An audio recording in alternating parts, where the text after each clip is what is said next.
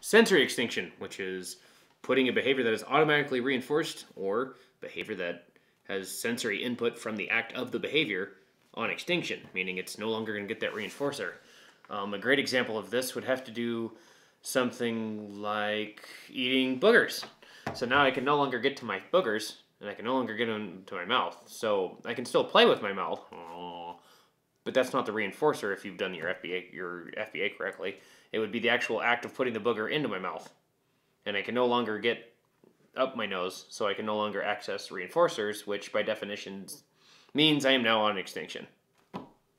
Cool. So an example would be really heavy scratching, and by heavy scratching I mean like to the point of scabs and bleeding and removal of skin cells scratching. So putting the sensory input from said responsive scratching on extinction would be removing the ability to no longer actually scratch.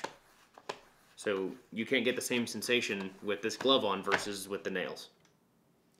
But you're not really response blocking. Yeah, right? not really So because you're allowing blocking. the response. Yeah, the response is still happening. It's not being denied.